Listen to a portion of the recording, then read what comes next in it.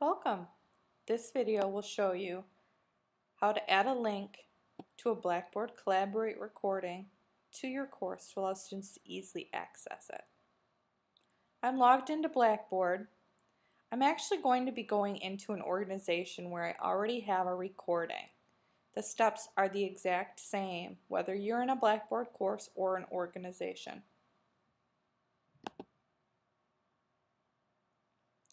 If you ran a Blackboard Collaborate session and decided to record it, when the recording is complete, you would go to either Organization Tools or Course Tools under the Control Panel and click on Blackboard Collaborate.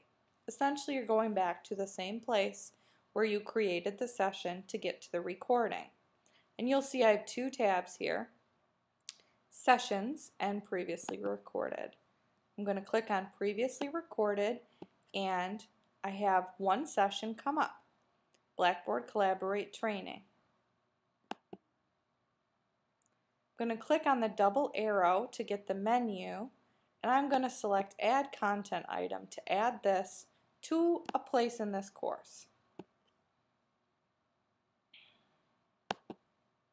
For right now I'm going to put it in the Blackboard Collaborate content area so if I select that option and then click the right arrow and then I can also give this a description.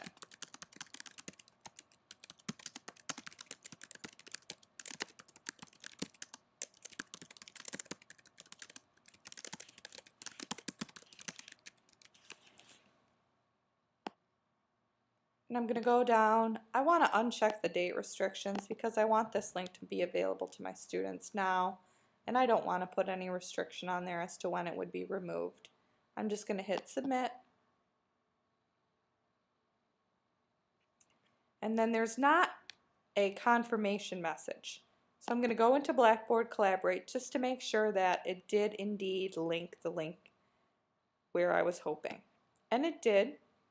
Right here, the second option, Blackboard Collaborate Training, with the description, this is the recording of the Blackboard Collaborate training session from Friday, January 27th. That's what I just added. And I'm going to go ahead and click Edit Mode to Off so I can just show what it would look like. If one of your users wants to view this recording, they click on the link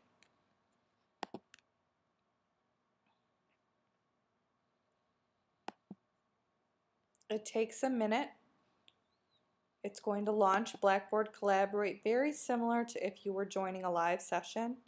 Only it's not going to ask you for your name or, or take you into a live room. It's going to show you the recorded session, which looks exactly like the session did on that day. It does take a minute to bring everything in. It would automatically start playing it. I paused it by clicking on the pause button right next to this menu which lets you jump through to different areas. You can see that it has not yet made all of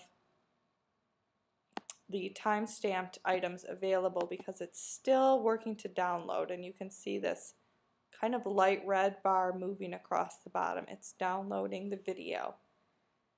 And I just want to point out that in this recording I chose the option to hide participants' names in the recording. And so instead of seeing someone's name, you're actually just seeing the very generic participant 1, participant 2. And that's how you add a link to a recording.